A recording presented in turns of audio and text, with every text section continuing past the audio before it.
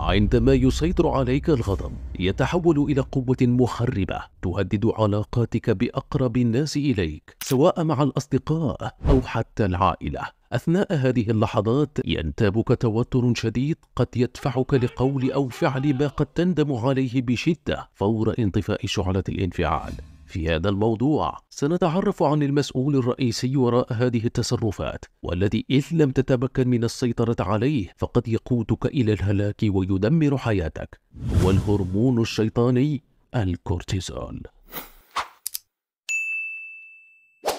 الكورتيزول أو كما هو معروف بهرمون التوتر هو هرمون ستيرويدي تنتجه الغدد الكظرية الموجودة أعلى الكليتين والتي تنظم إطلاق الهرمونات داخل الجسم عند التعرض للتوتر.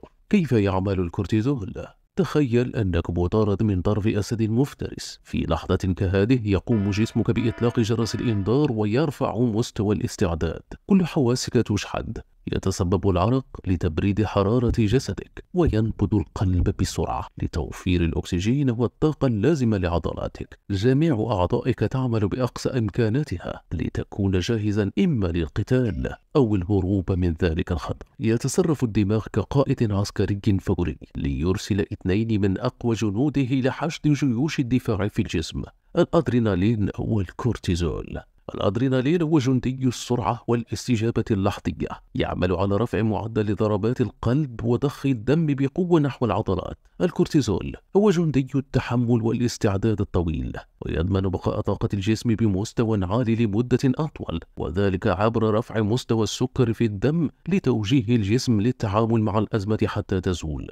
تعمل هذه الاستجابة كحائط دفاع أولي لحماية الجسم من أي تهديد خارجي وهذا أمر طبيعي. لكن إذا تكررت بشكل مفرط بسبب ضغوط الحياة المستمرة فإنها قد تؤدي لإنهاك الجسم وإرهاق العقل بإفراط. وهذه هي المعضلة لأنه في أسلوب حياة كل منا. هنالك ضغوطات مستمرة ومهما كانت صغيرة أو كبيرة فإنها تقوم بدورها بتفعيل نفس النظام المخصص لأوقات الخطر الحقيقي لأن الغدد الكظرية لا تفرق بين مطاردة الأسد وتأخرك عن العمل.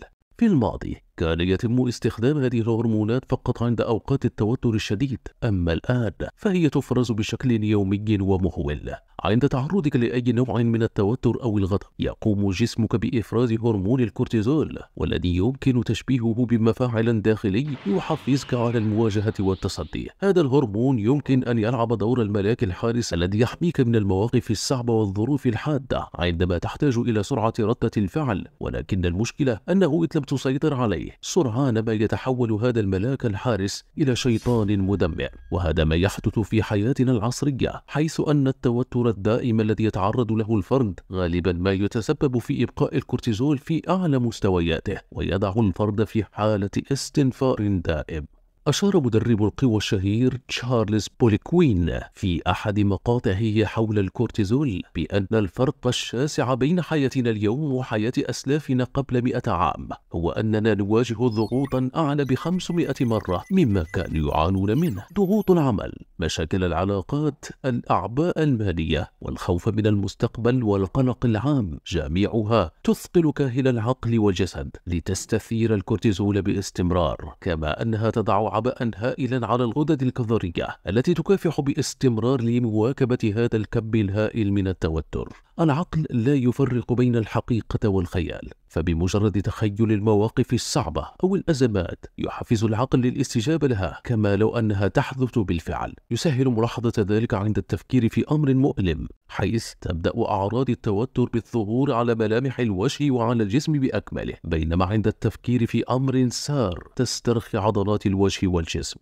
تجدر الإشارة إلى أن الإفراط في إفراز الكورتيزول الناتج عن التوتر الدائم يتسبب في إظهار ما يعرف بداء كوشينغ الشيطان الصامت. هذا الاضطراب الخطير هو ناتج عن ارتفاع مستوى الكورتيزول فترات طويلة يصيب الملايين من الأشخاص فيشرع في تدمير العلاقات وتخريب الجسم. كما أن من أعراضه المزمنة هو ارتفاع ضغط الدم والأرق والاكتئاب. عندما تتعرض لحالة من الغضب تندلع معركة عنيفة داخل جسدك. يقفز معدل ضربات القلب لأكثر من 100 نبضة في الدقيقة ويرتفع ضغط الدم بنسبة تصل إلى 50% عن مستواه الطبيعي ويزداد يزداد معدل التنفس بنحو 40% لتزويد العضلات بالمزيد من الأكسجين استعدادا لأي مواجهة. لكن مع تكرار هذه النوبات يحدث الكورتيزول تأثيرا مدمرا ويتسبب في تآكل الخلايا العصبية بالقشرة الجبهية ليضعف قدرتك على اتخاذ قرارات سليمة. لا يتوقف الأمر هنا بل يمتد إلى الحصين المسؤول عن الذاكرة حيث يقوم الكورتيزول بتدمير خلاياه فتبدأ مشاكل الذاكرة في الظهور. ومع مرور الوقت يؤدي ارتفاع الكورتيزول إلى تقليل إنتاج السيروتونين أو هرمون السعادة مما يفتح باب الاكتئاب ويغلق نافذة الفرح والسعادة. والأخطر من ذلك أن هذا الهرمون الشيطاني لا يكتفي بتدمير علاقتك فحسب بل يمتد ليهدد حتى جوهر رجولتك. فقد اكتشف العلماء أن تفعيل وضع الطوارئ الناتج عن ارتفاع الكورتيزول يتسبب في تجاهل الجسم لأفعال مرتبطة بالتزاوج ويعمل على وضع الجسم في حالة بقاء من أجل النجاح. حينها تنخفض مستويات التستوستيرون بشكل ملحوظ ومع استمرار هذه العملية يؤثر ذلك على مستوى الخصوبة. للتحكم في مستويات هرمون الكورتيزول هناك استراتيجيات أساسية وفعالة. أولا النظام الغذائي المتوازن له دور حاسم في ذلك. عبر التركيز على تناول الأطعمة الغنية بالألياف مثل الفواكه والخضروات والحبوب الكاملة مع تجنب السكريات والدهون المشبعة. النوم العميق والمنتظم هو عنصر أساسي بدوره في الحفاظ على توازن الكورتيزول إضافة إلى ذلك فإن التدريب البدني بشكل منتظم مع تفضيل التمارين المعتدلة تسهم بشكل كبير في تحقيق هذا الهدف تقنيات الاسترخاء كالصلاة في المسجد، التنفس العميق والتأمل هي أدوات فعالة لتخفيف التوتر والحد من ارتفاع الكورتيزول. مراقبة استهلاك الكافيين عبر تقليص تناول المشروبات المنبهة كالقهوة التفاعل الإيجابي مع الأصدقاء والعائلة تخصيص وقت لهواياتك المفضلة مثل القراءة أو الانخراط في أنشطة الابتكار والإبداع. كل ذلك يسهم في تخفيف الضغوط النفسية بشكل فعال ويمكنك من التحكم في مستويات الكورتيزول وردع آثاره الجانبية. الشعور بالغضب هو من أقوى المشاعر التي يمكن أن يتعرض لها الإنسان حيث أن مستوى قوة هذا الشعور لا يقل عن مستوى خطورته. وبالتالي إذ لم يتم التحكم فيه بحكمة فهذا الشعور الخطر قد يتسبب في الخراب.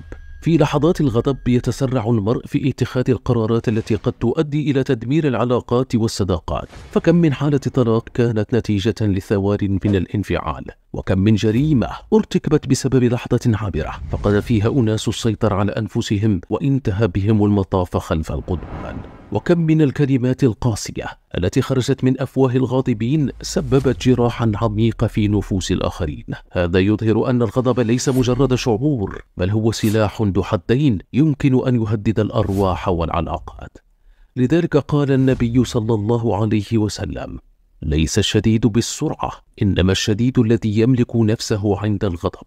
من الضروري أن تتعلم كيفية إدارة هذا الشعور قبل أن يتحول إلى خطر يهدد حياتك وحياة من حولك.